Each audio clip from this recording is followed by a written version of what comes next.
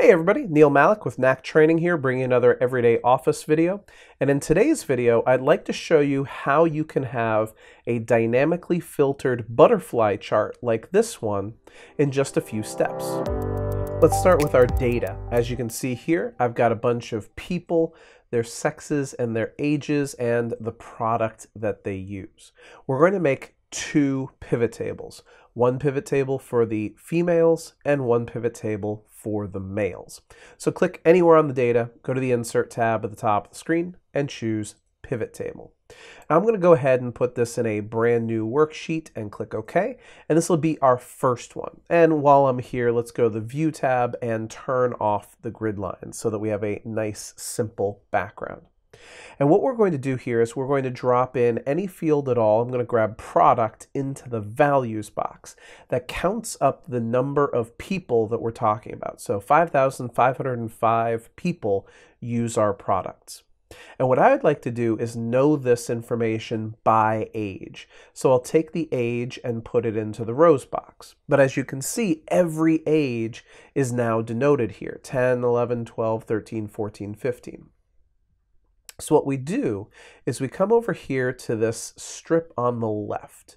And right clicking in the strip on the left, we go with grouping the information. And we tell it, okay, uh, the ages start at 10, they end at 88, and they go by tens. And you can decide how you want this structured.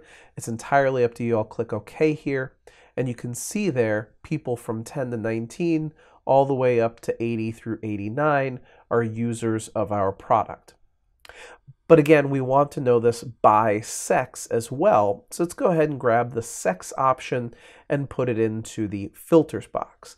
And now for this pivot table, I'd like to know all the female users of our product. So I click OK, and there you can see 2,748 users broken down by age that are all female users.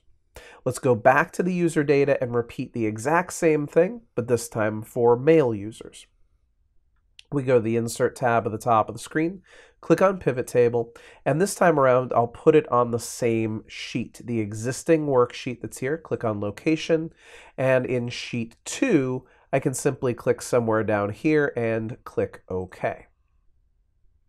Again, just drag the product entry into the values box.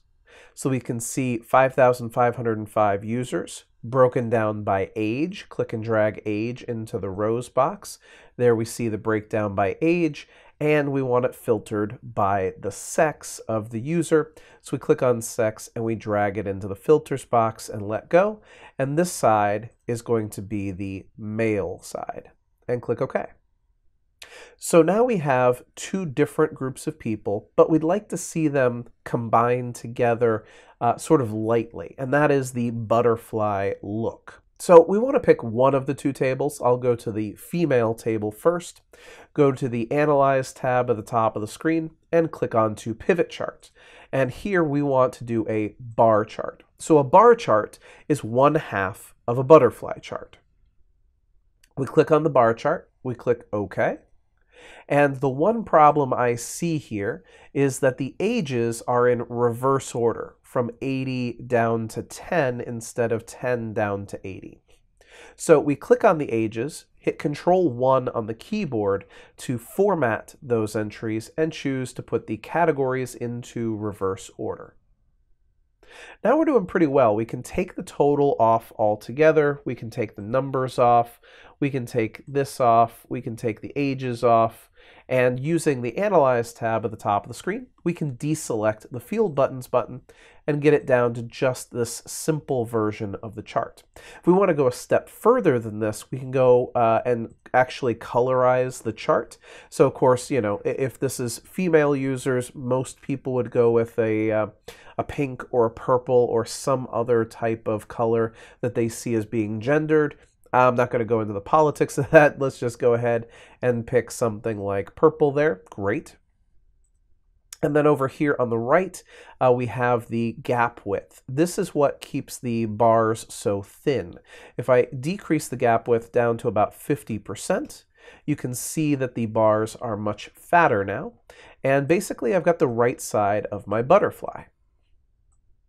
So we're going to repeat this. Go to the male side of the table, go to Analyze, and add a pivot chart. Of course, again, this is a bar chart, and click OK.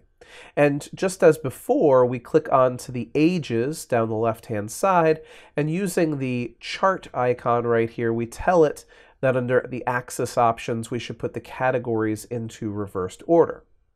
But of course, there's one other problem to this, and it's going the same direction as the previous bar chart is. So here, we click onto these numbers, and over here on the right-hand side, you can see values in reverse order. Click that checkbox, and now it flips it over. Again, we can take all of this stuff off, just clicking on the delete key on the keyboard to get rid of extraneous items and using the Analyze tab to turn off the field buttons. And of course here we have a very similar thing, but the bars are not fat enough.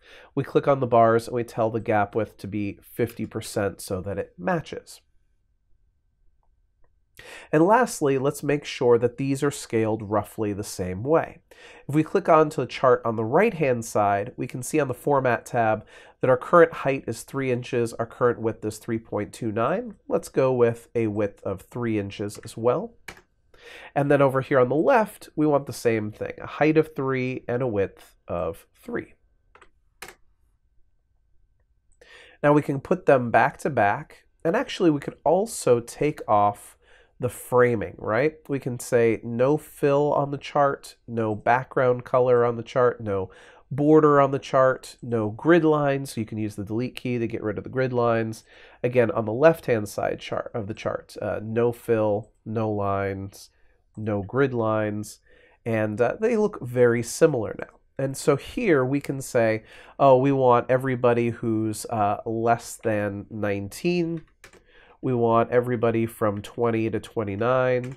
We want everybody from 30 to 39, 40 to 49, 50 to 59, 60 to 69, 70 to 79, and 80 to 89. Now let's go ahead and blow that up a little bit, make the font size a bit bigger so that it looks pretty good, and center it. And then we could just take these bar charts and sort of line them up so that the ages and the bars are aligned with one another. Okay, so let's take a look at the height again here. This is a height of three and a half inches. Here on the left, we can go with a height of three and a half inches. Perfect. And we can choose to line these two things against one another using the Format tab and aligning the tops. Not bad, right? So, so far so good. We have a butterfly chart representing the different ages of people in our user base. Let's go up here to the top of the screen. Let's make a nice little, um, nice little title up here, something like users by age range. And we'll say that this is male and female users. And we can bold this, make it a bit bigger. And we can also take the word male and make it the same shade of blue. And take the word female and make it the same shade of purple. Not bad. But here's the last stage in the process. If you look back at the user data, you'll see that the user data is broken down by product as well. GroupFire, Backstage, and Vinyl are the three products we're talking about. And I'd love to be able to specify which product I'm discussing in this as well. So let's go back here, click onto one of the two pivot tables, and on the Analyze tab at the top of the screen, insert a slicer. We can insert that slicer for which product we're talking about and click OK. Before you move forward, take a second here and make this connected to the other pivot table as well, because whenever you add a, a slicer to a pivot table, it is only connected to the pivot table that you are selected on. So I click on to report connections up here at the top, connect it to the other pivot table and click OK. And now I can make this a three column slicer. I can make this wider. I can make this shorter. And for that matter, I can come up here to the top of the screen to my slicer settings, and I can do things like take the header off, thereby making this a rather nice interaction. So here, especially if we start moving things over a little bit, there we go. We can scroll over so there's just white space. And here we can say, show me all the backstage users, show me all the GroupFire users, or show me all the vinyl users. And it's actually very easy for people to see that GroupFire users tend to go young, vinyl users tend to be in the 30 to 50 age range, and backstage users tend to be in the 50 to 90 age range.